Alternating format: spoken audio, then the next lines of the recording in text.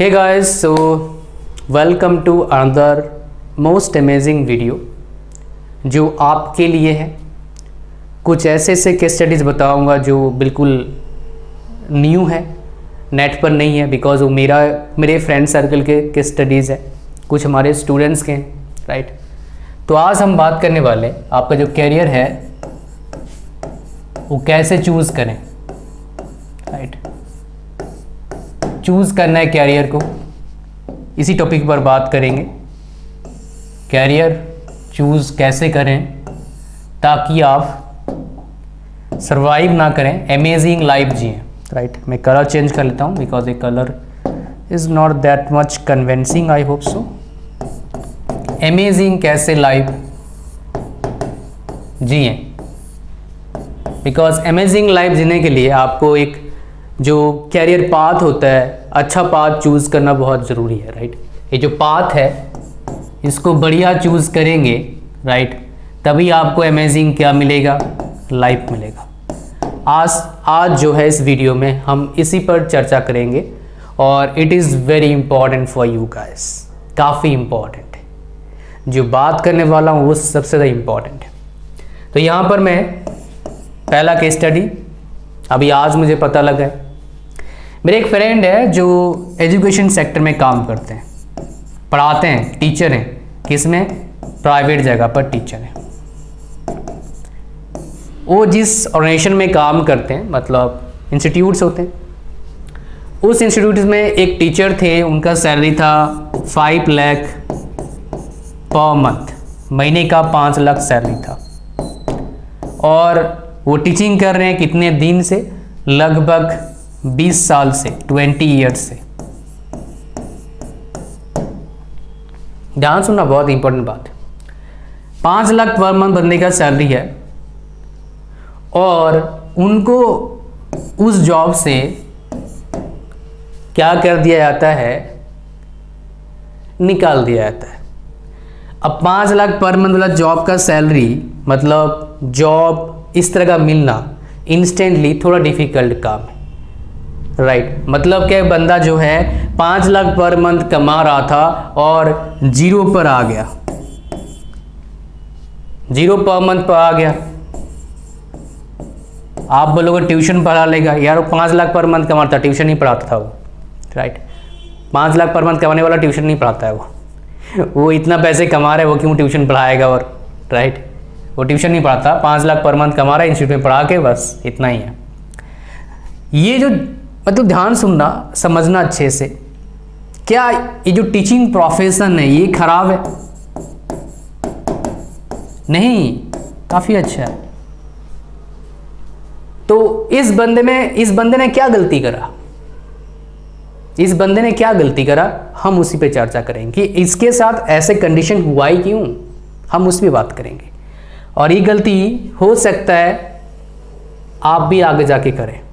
May be because ये गलती कईयों ने करा होगा अपने लाइफ में राइट बिकॉज़ मैं केस स्टडी से ही आपको समझाऊँगा, ऐसे लिख के समझाऊँगा, एक पॉइंट मज़ा नहीं आएगा मतलब आपको फिर लेसन नहीं मिलेगा। इस पर्सन का सबसे बड़ा मिस्टेक राइट मैं बता रहा हूँ, उसने क्या करा? जो भी करना था उसको बिज़नेस की बात नहीं कर रहा हूँ बिज़नेस वाला अलग चीज़ होता है यार। दैट इज़ डिफरेंट थिंग वो अलग स्कोप है, उसमें अलग पैसा है, अलग काम करना पड़ता है जॉब की बात कर रहा हूँ। इसने क्या करा? ऐसे ऑर्गेनाइजेशन में काम करा, ऐसे ऑर्गेनाइजेशन में काम करा। ऑर्गेनाइजेशन ऐसा था जिसको गवर्न कर रहा था सिंगल पर्सन सिंगल पर्सन और उस पर्सन में उसका बहुत बिलीफ सिस्टम हो गया था। जब उसको बढ़िया बढ़िया ऑफ़र आ रहा था, बाकी बड़े बड़े ऑर्गेनाइजेशन से उसने छोड़ दिया कि भाई यही बंदा अच्छा है, मेरा सब कुछ केयर करता है, क्यों मैं छोड़ के जाऊँ? तो यहाँ से बड़ा लेसन क्या समझ में आता है? जब कोई जगह पर सिंगल पर्सन डिसीज़न लेता है तो आपके लिए अच्छा भी हो सकता है, बहुत घातक भी हो सकता है। तो जब आप काम कर रहे हैं किसी जॉब किसी जगह पर जॉब कर रहे हैं तो आप देखना कि एक पर्सन पर 100 परसेंट डिसीज़न ना हो, आपका जॉब लगने का मतलब जॉब जाने का और रहने का। थोड़ा बहुत तो रहेगा 100 परसेंट ना हो ऐसा। लेकिन इस ऑर्गेनाइजेशन में क्या था, ऐसे टीचर को निकालने के लिए डेफिनेटली मालिक का हाथ होता है। पाँच लाख पर मंथ कोई प्रिंसिपल तो निकाल नहीं सकता, या फिर अगर मान लो कोई बड़ा कॉलेज है, कोई एच तो निकाल नहीं सकता, कोई मान लो आप कोचिंग इंस्टीट्यूट है। मालिक, जो ओनर है, उसका हाथ होगा। तो जब सिंगल पर्सन का डिसीज़न लेने सिंगल पर्सन डिसीज़न लेता है तो ऐसे ऑर्गेनाइजेशन में ऐसे प्रॉब्लम आ सकते हैं।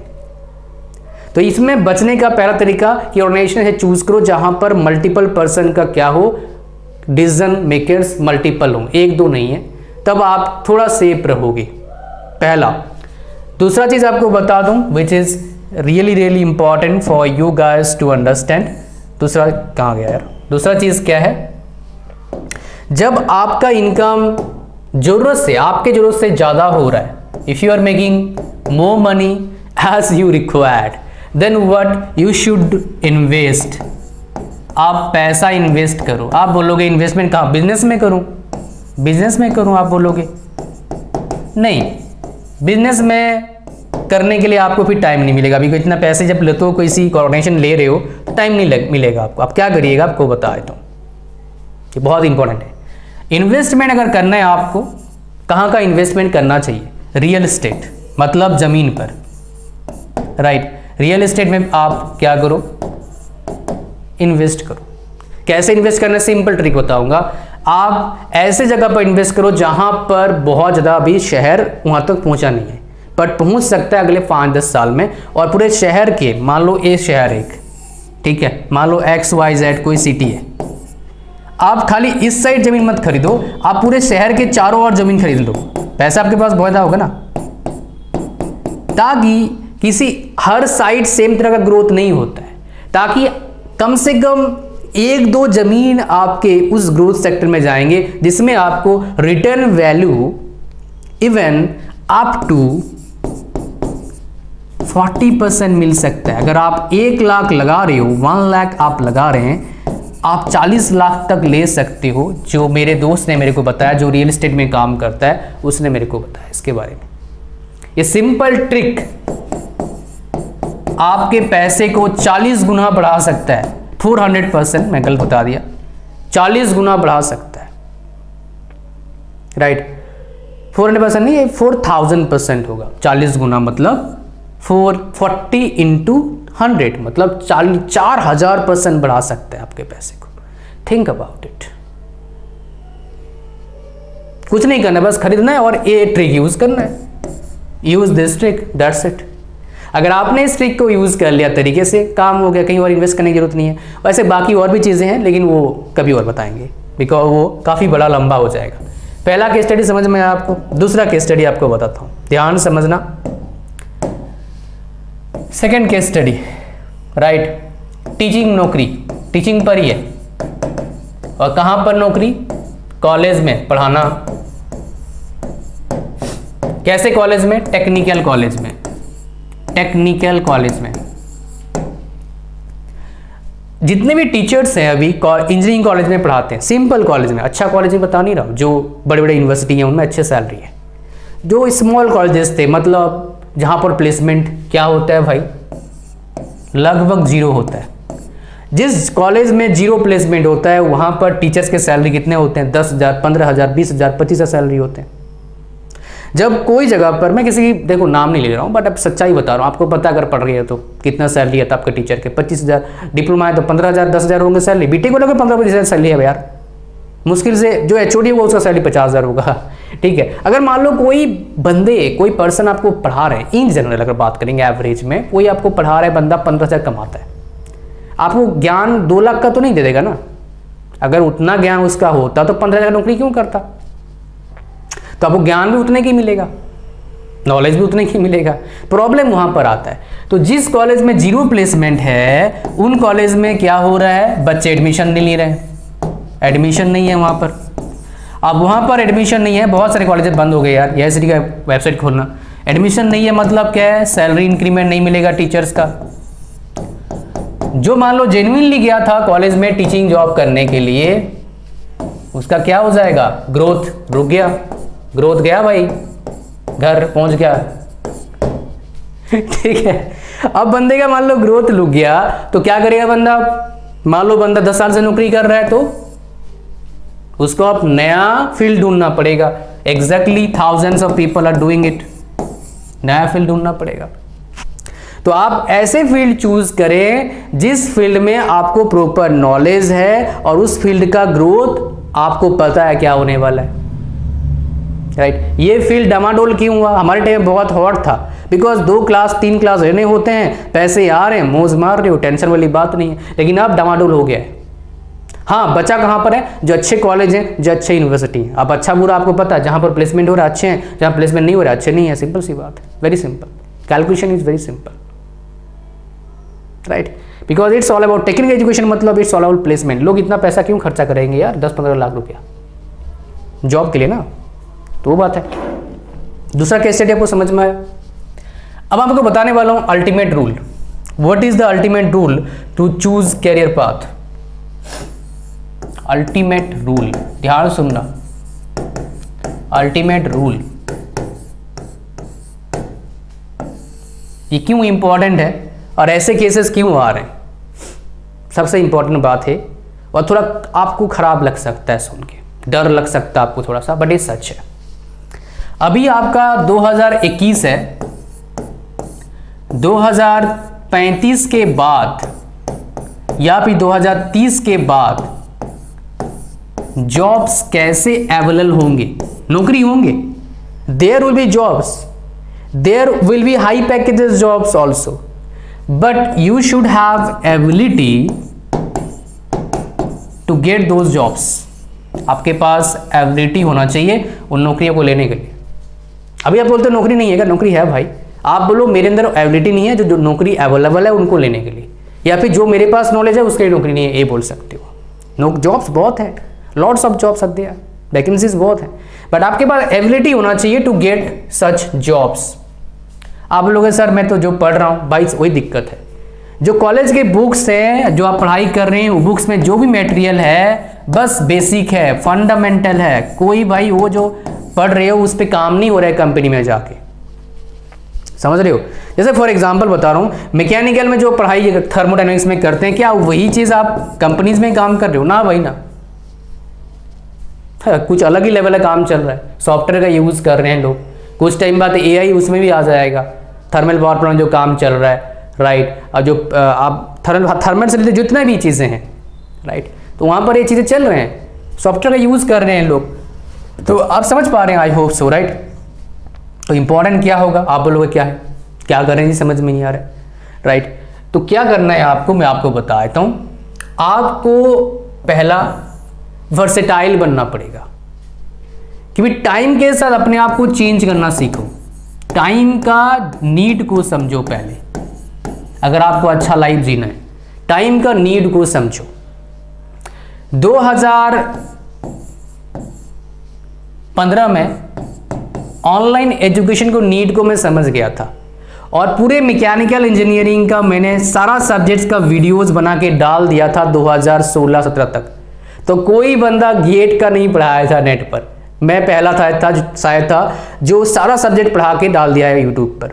First I was the first और वो वीडियोस अभी भी लोग देखते हैं, हज़ारों लोग देखते हैं डेली तो आपको मार्केट का नीड को समझना पड़ेगा टाइम के साथ। अगर आप मार्केट का नीड को समझते हो टाइम के साथ और उसको फुलफिल करने की कोशिश करते हो राइट स्ट्रेटेजी के साथ तो आपको टेंशन लेने की ज़रूरत नहीं है। तो मार्केट का नीड समझ गुण पाता है जो प्रॉपर एनालिसिस करता है। जो प्रॉपर एनालिसिस करता है। तो पहला चीज़ मैंने क्या बोला आपको थोड़े से टाइम के साथ चाहिए मतलब एक बोल सकते हो आ, अपने आप को कीप लर्निंग वाला मोड में रखना है राइट लर्निंग वाला मोड में रखना है पहला। दूसरा आपको एनालिसिस करना सीखना है। You need to know how to do analysis, how to do proper research about any topic, right?